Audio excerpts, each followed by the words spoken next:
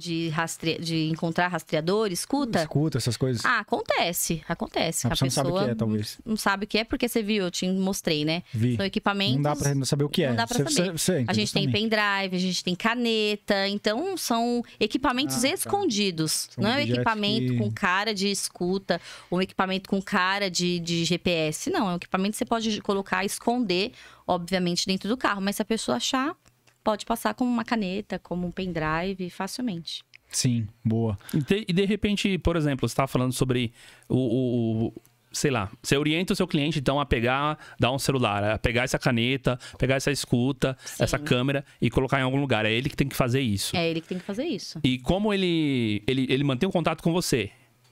Ele vai falando assim, ó, coloquei em tal lugar, esse lugar tá bom? É mais ou menos isso que acontece. Sim, eu passo pra ele os locais que ele pode colocar.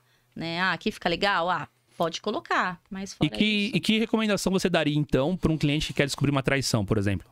Se ele- que ele quer descobrir uma traição? Isso, ele quer descobrir uma traição. Ah, eu recomendo muito, de verdade, escuta, porque a gente pega muita coisa escuta veicular. Porque é onde você se sente mais à vontade de falar. É dentro do carro, né? É num trânsito, é, para o carro na rua, para o carro em posto. Você vai falar no telefone celular. Então a gente pega bastante traição, nem mesmo presencial. A gente tem vezes que fica 10 dias seguindo a pessoa e não pega traição nenhuma física. Mas em escuta, a gente pega milhares de coisas. A gente Então, pega antes, muita coisa. antes mesmo da pessoa fazer, ela- por, ela, por ela pensar, por ela planejar e tudo mais, já dá pra, já dá pra saber. Sim, né?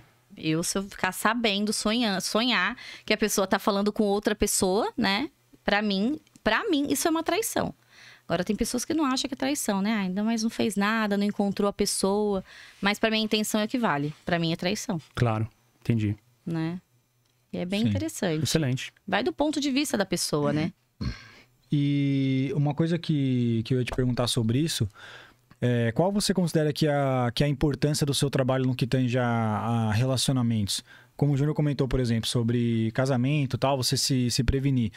Então, como que você indicaria num sentido de, da relevância do seu, do seu trabalho para quem está em relacionamento? Você acha que é algo necessário? Você acha é algo, considerando o que você acompanha de não só de traumas emocionais que a pessoa deve Sim. sofrer, mas de outros prejuízos, né? Você acha que seria de extrema importância, então, padronizar isso para quem hoje em dia você sente uma necessidade disso para relacionamentos de modo geral? Para quem quer se casar, por, vai haver um investimento muito grande em ambas as partes, É. não só financeiro, mas emocional muitas vezes. Sim, sim. Eu indico o meu trabalho quando a- tem pessoas que ficam em cima da pessoa achando que a pessoa faz alguma coisa. E muitas das vezes a pessoa não faz nada. Nós temos casos aí que a gente fica 20 dias atrás da pessoa, com escuta, rastreador, tudo que você imagina, nós não pegamos absolutamente nada. Por quê? Porque dá, vai da cabeça da pessoa, né? Tem pessoas que, que ah, ó, ô Lu, ele não tá me atendendo. Onde ele tá? Ele tá no carro. Ele não tá te atendendo porque ele não quer. Não, ele não, não é possível. Se ele tá com o celular na mão, se ele tá com o celular, ele tem que ver que eu tô ligando, mas por que, que ele não me vezes atende? ele tá dirigindo, não tem. É, porque não quer atender. Tem mulher que enche tanto saco, tem homem que enche tanto saco, que, né, quem nunca passou por isso? Vê a ligação do marido, ai, tá bom, depois eu falo. Não quer falar.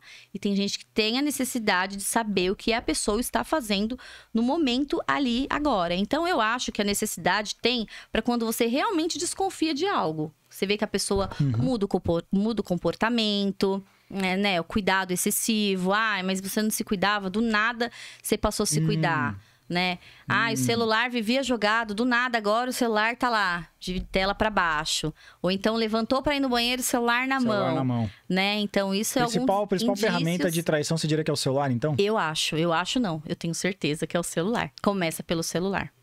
Celular, Celular, é o então- vilão. Celular é o vilão. Você não fala nem num sentido, então, de. é, como eu posso explicar?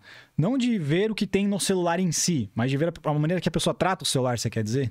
Sim, eu quero dizer mudança de hábito, né? Você tem Com um celular. hábito com o celular. O celular é o principal. Ah, meu celular vive por aí, todo mundo tem a senha. Ok, do nada eu troco a senha, do nada meu celular tá aqui, do nada tô almoçando, tô jantando, celular sempre do meu do lado, virado, ou então embaixo, tô dirigindo o celular no meio da perna. E não era isso, entendeu? Eu tô dizendo de mudança de hábito com o celular. Um cuidado, excesso com o celular. Eu acho que é um indício bem grande.